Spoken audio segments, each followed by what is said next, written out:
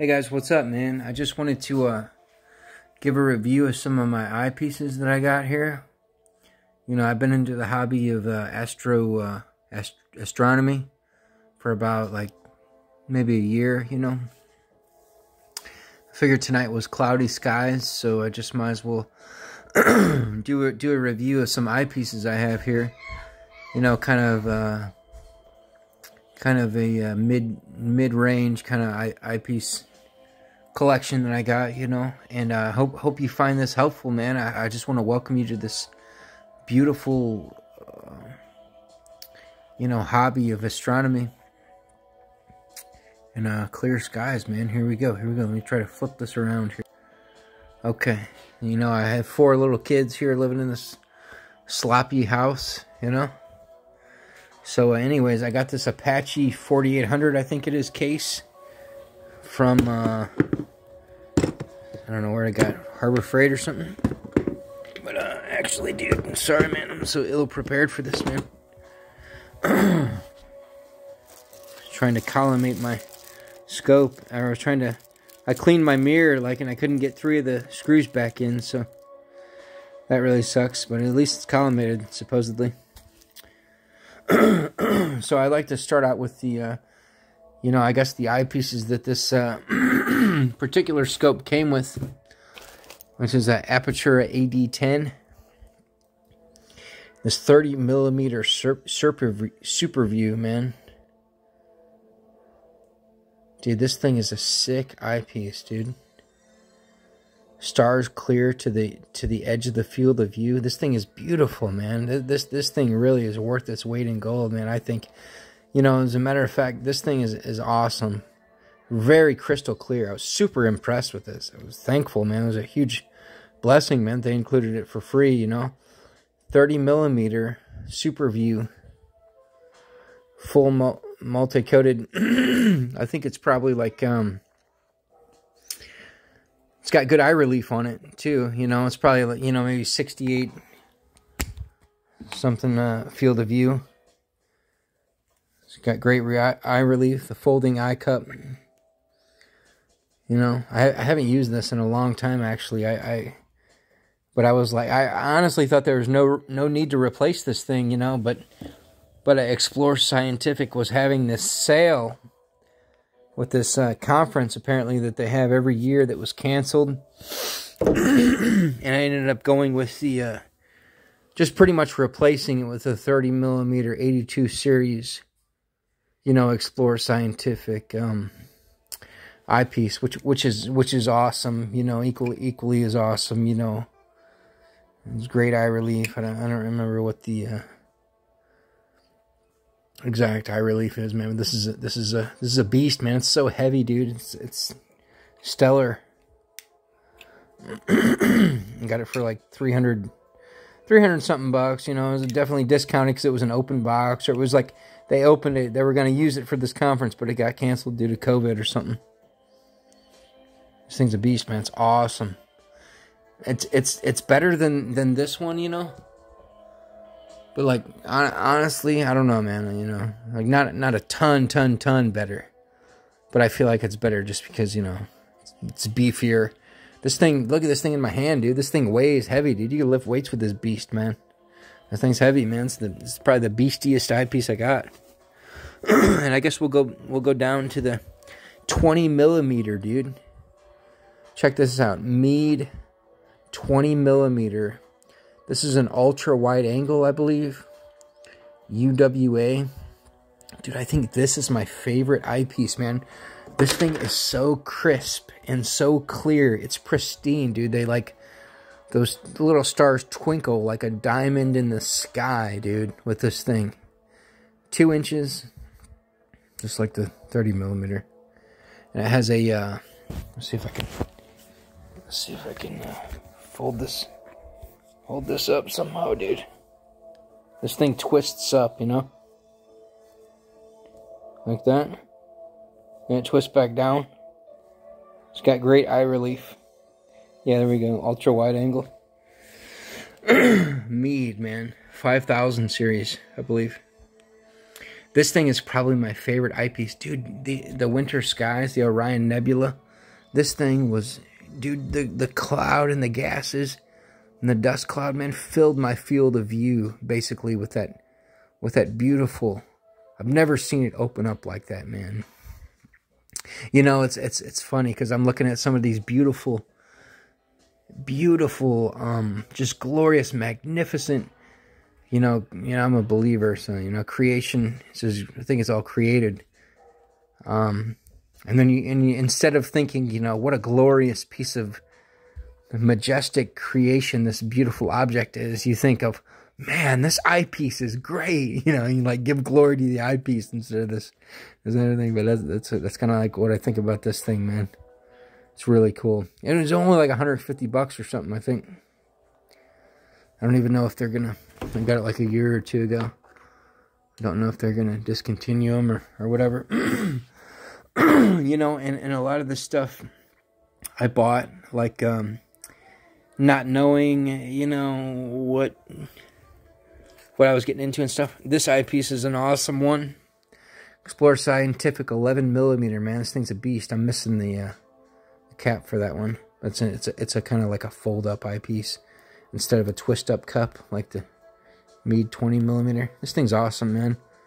Very, it's great to have an 11 millimeter eyepiece, man. Honestly, I think I might have done something to this one. It's like kind of dark. It's like not as not as crisp and as clear. It's like kind of dark. This thing is like 199 bucks, man. It's a great eyepiece, man. 82 degrees field of view. Probably a 15 millimeter eye relief, something like that. It's great. It's a great eyepiece, man. It's awesome. It's one of my favorites, man. I always, I always definitely go to this thing, man. It's great, you know, double cluster, you know, planets. It's, it's kind of like a mid, right, right in between, you know. You don't want to go to the super the super wide field of view for like you know like M13 or something globular big clusters or, or, or, something like that or you know it's great for like you know M1 the Crab Nebula you can find that thing I just found that accidentally the other night man it's a funny story okay so that's a good 11 millimeter eyepiece this thing's great and then we'll you know you know kind of like mistakenly I bought this uh 10 millimeter eyepiece, which I'm probably to sell once I get enough posts on uh, cloudy nights. Because obviously, I don't I don't think you need a 10 millimeter in a uh, and an 11 millimeter, you know. So th this thing's pretty cool. This it's got a, like a twist. You twist this thing, and the eye cup comes up, and twist it down, and it goes down. That's pretty cool. It's good, man, because I got I got a 2.5 Barlow, a real cheap one that I'll show you. So that would bring this down to, what, 5 millimeters? Which would be the most magnification I could possibly give my, my AD10 telescope. So, uh, we got that 10 millimeter. I'm probably going to get rid of that one. I got this 15 millimeter, this this little guy. because I was kind of like wanting something in between the uh, 11 and the 20. I w I wasn't sure. Super wide angle. Guess it's a 70 degrees. Sorry if this is blurry to you guys, man. I don't know why this is not. It's yeah, it's a 70 degrees, um, 70 degree, 15 millimeter. I, I very rarely use this thing. This will probably be one that I sell also. It's got a really interesting, the, the twist up eye cup is right on the very end there. It's kind of cool. There no problems with it. I mean, at all, you know. It's an Apertura. It was probably like 70 bucks or something. If I can sell it for like 40 bucks, 50 bucks, I'd be, be happy, I guess. I got a cheap, cheap like, you know, 30 something dollar Barlow lens there, High Point Scientific Generic. For some reason, dude, I'm having trouble getting focus on this. I don't do too many YouTube videos, you know, so this is kind of... But this is just a Barlow lens, man. I think I'm going to keep this. You know, if I want to get. I'm thinking about buying a DSLR camera. And somehow, maybe this might come into play. I, I don't really know yet. But hopefully, uh, you know, I'll find out.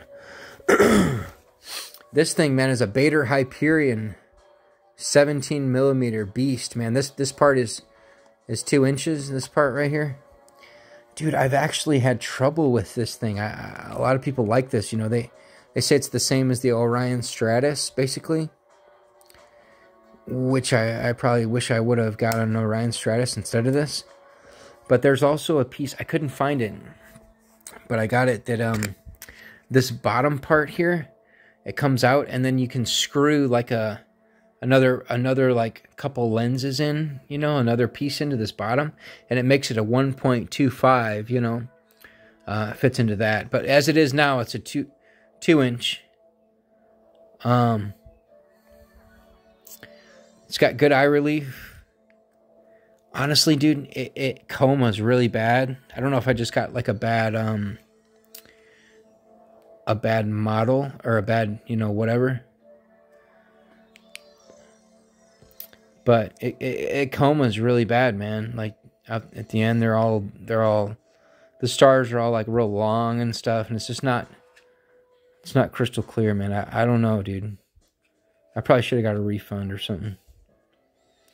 But a lot of people think this thing's awesome, you know. I mean, you know, I, actually, I've heard really good things about the Baader Morpheus instead of the Hyperion, but, you know, I guess the uh, Hyperions are just as just as good as the Orion Stratuses.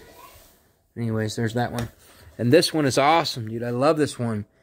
Meade, ultra wide angle, 5.5 millimeters. If you're going to look at planets and you have decent conditions, man, if you have great conditions, this thing's a beast, man. This thing will give you some close-ups, man. This is a great one, dude. I love it. It's got great eye relief. You know, it's it's the same series as my 20 millimeter eyepiece. And you twist it like this. And it kind of goes goes into a hole, goes into a circle. You know, to kind of like fit around your eye. It seems like, you know, there's a sweet spot in between all the way up and all the way down. If it's all the way up, it's like you kind of got like tunnel vision, you know? But if it's all but if it's all the way up, you know, you feel like you're like, man, I don't have like a real wide field of view. But if it's all the way down or like most of the way down, you're like, man, this is sweet. I got good eye relief and a good field of view. You can get awesome planet planetary views off of this thing if the conditions are really great. Even on the moon, some close-ups, man, the craters and stuff. This thing's awesome. As far as a, you know, 10, 10 inch uh, reflector, 5.5, that's pr pretty much pushing the limits. I guess I could try 4.7. I haven't tried that yet, but I, I want to. I want to try 4.7. I'm not good on math, you know. The, other guys will e e equate all the, you know, 300 times something is the best you can do and everything. And then we'll move on to my filters here. I got a, uh, I just got a moon filter. I used to have two of them, but I lost one in the grass. You know, you guys can comment below if you guys have lost any any gear in the grass. This is just a cheap, straight up moon filter. You almost need two of them, dude. The moon is so bright. And then I have a, uh, the only other color filter I have is an 82A, I think. Um, yep, 82A High Point Scientific filter. I use that for looking at Jupiter or Mars. Kind of add some contrast on the cloud bands there. It helps, I believe. You know, you kind of take it, take it on, put it off, decide what you like better. and then I have a, uh, I think this one was around a hundred bucks, man. It's a uh, Explore Scientific OIII or O3 or OIII filter. Guess it's a nebula filter. These haven't been out that long, I don't think. Not sure. But this, um, I was recommended this filter. And, uh, and then I heard like Lumicon was like the best, you know. Genuine Lumicon filter here. This thing was 200 bucks. $200 filter, man. Uh, I kind of thought I was overpaying. Like, man, this is crazy. What is this going to do? But it really does. Oh, crap, dude. My filter just went flying over there. Yeah, this thing, man, it's a beast. That's funny. Um, this thing really makes the Orion Nebula just shine, dude. I looked at this thing. This thing gave it wings, man. This thing opened this thing up. That opened that nebula up like I've never seen before in the winter sky, man. That Star Nursery M42.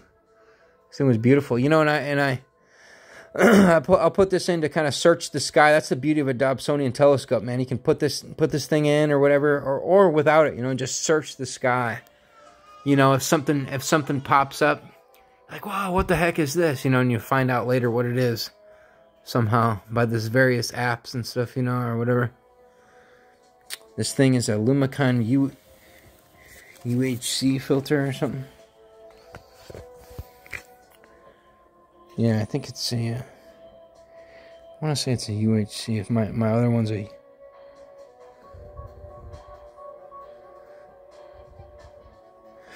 Yeah, but that's pretty much what we got here as far as the eyepiece review.